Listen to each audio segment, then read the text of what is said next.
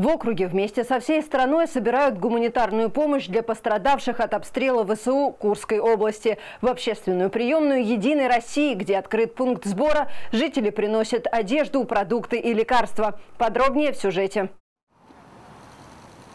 Одними из первых вызвались помочь люберецкие предприниматели, депутаты, работники образовательных учреждений и представители спортивных федераций. Несут одежду, постельные принадлежности, антисептики, продукты. Все, что сейчас необходимо жителям Курской области. Реакция от родителей ну, поступила незамедлительно. Мы очень много помогаем, работаем в одной команде в, в городе, откликаемся всегда на просьбы, призывы депутатского корпуса, общественной палаты, органов профилактики по помощи семьям, особенно семьям, у которых есть дети.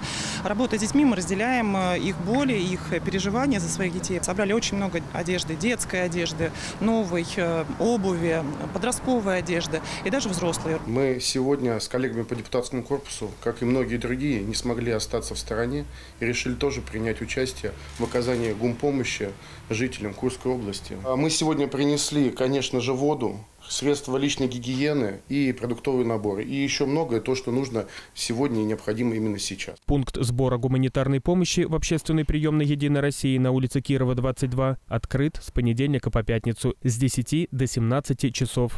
Богдан Колесников, Денис Заугольников, телеканал ЛРТ.